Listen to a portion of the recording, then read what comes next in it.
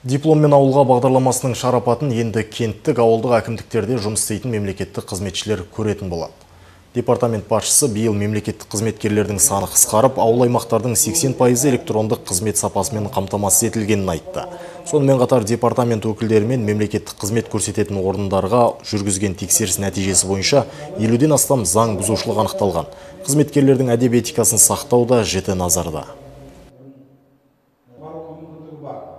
Негізі департаменттің құзыретіне жасатын жұмыстар мемлекеттік қызмет мемлекеттік қызмет сапасын ә, бақылау және оны ә, реттеушілік жұмыстармен айналысады. Ә, алты ай көлемінде мемлекеттік қызмет саласында қызмет көрсету саласында оның сапасын бақылау саласында біраз жұмыстар атқарылды.